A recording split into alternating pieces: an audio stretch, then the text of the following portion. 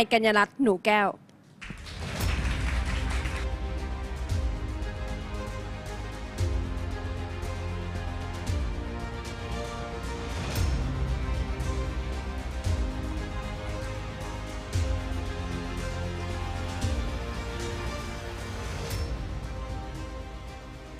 หยุดค่ะ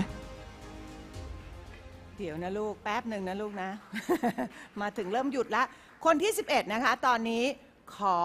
คีย์เวิร์ดให้เขาสุ่มได้เลยค่ะ หยุดค่ะ คุณได้คำว่า กัญชาเสรีนะคะ ถ้าพร้อมแล้วเริ่มได้เลยค่ะ กัญชาเสรีไอมองว่าเป็นเรื่องที่ดีนะคะ แต่ว่าในเด็กอะค่ะ ที่เขาอายุต่ำกว่า 18 ปี เราควรที่จะออกกฎหมาย หรือออกนโยบายให้กับพวกเขา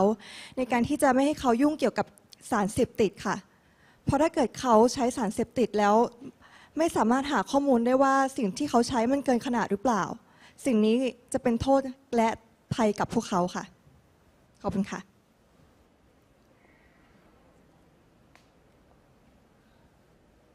รอกรรมการพร้อมแป๊บหนึ่งนะคะ เราจึงจะอนุญาตให้ประตูบานนั้นเปิดขึ้น ครบแล้วงั้นประตูเปิดค่ะ ขอดูว่าใครอยู่หลังประตูค่ะ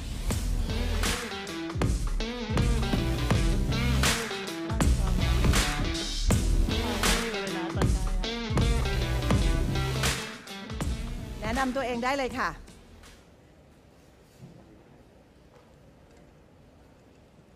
สวัสดีค่ะ อาย อายกัญญลักษณ์หนูแก้ว ตอนนี้อายอายุ 22 ปีค่ะ กำลังศึกษาอยู่ที่มหาวิทยาลัยอีสเทิร์นเอเชียคณะการบินค่ะ ปัจจุบันอายเรียนไปด้วยแล้วก็ทำงานไปด้วยค่ะ เชิญพี่ลีน่าค่ะ คุณเป็นนางงามคุณต้องทำกันบ้านเยอะๆ กฎหมายมันออกมาตั้งหลายเดือนแล้วว่า ห้ามผู้ที่มีอายุน้อยกว่า 20 ใช้กัญชา ห้ามผู้ที่มีท้องหรือว่ามีบุตร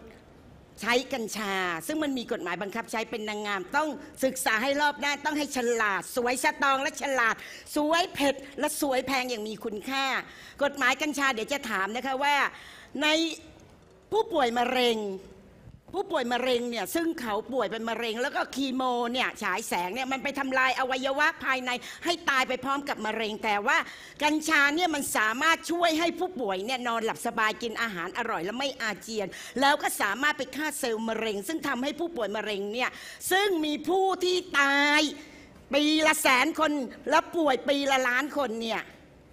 คุณคิดว่าการที่รัฐบาลผ่านกฎหมายกัญชาเนี่ยมีประโยชน์ต่อผู้ป่วยมะเร็งไหม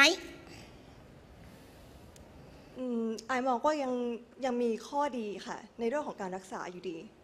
เพราะจริงๆแล้วถ้าเกิดเอามาเทียบกันตรงๆเลย ข้อดีมันเยอะมากกว่าข้อเสีย แต่คือข้อเสียเนี่ยคือเราจะต้องกำหนดปริมาณแค่เท่านั้นเองค่ะ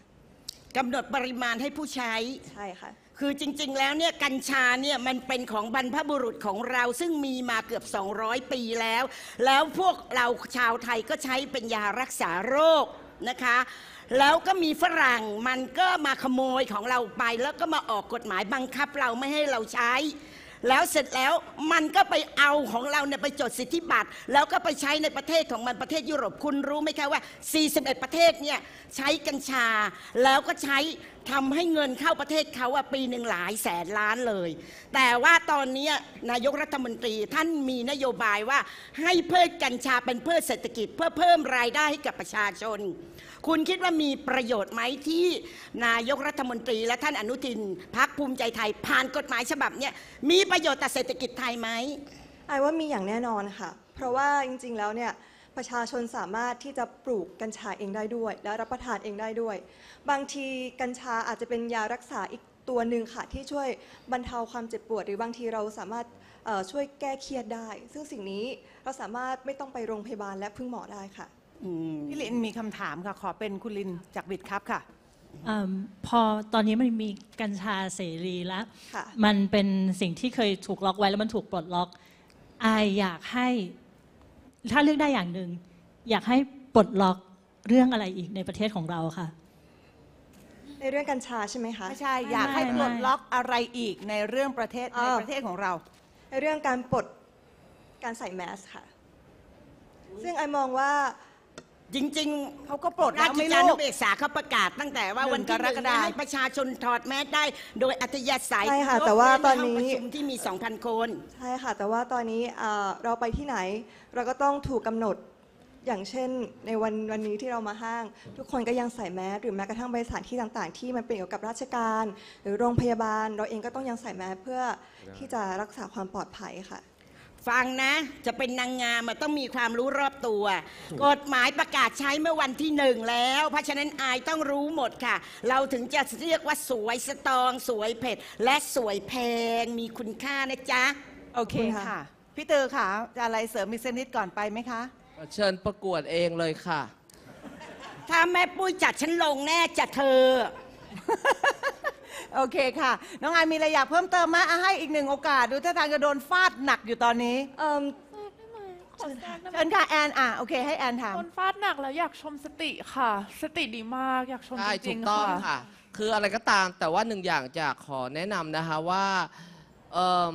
ไม่ต้องรีบตอบ เวลาคำถามถามมายังไงก็ตามจับสองประเด็น สองคำถามในนั้นให้ได้ครับไอ้คีย์เวิร์ดในนั้นอะจับให้ได้แค่นั้นพอที่เหลือเนี่ย